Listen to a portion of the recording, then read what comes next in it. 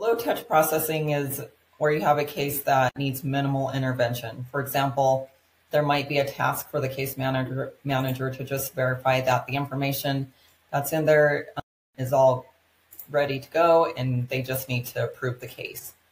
And then no touch processing is using OCR and maybe artificial intelligence systems that can review the documentation and automatically identify and verify the eligibility criteria and then move on to automatically approve the case without any human ha ever having to touch it.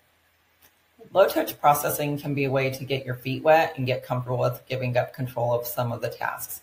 Maybe you're confident, confident that specific case types, like the simple pregnancies, are the right cases to implement no touch processing for, but you still want to review the paperwork for a period of time to make sure that you're happy with the output from either the OCR or the AI that you've been uh, using.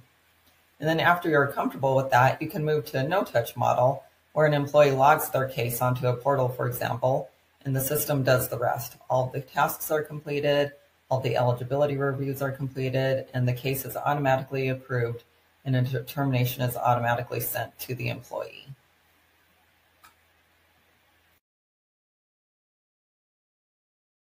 Some of the benefits for our low touch and no touch cases are for the employee, it's faster processing of their case and payment, improved customer service because the case managers can spend more time actually talking to the employee instead of pushing paper.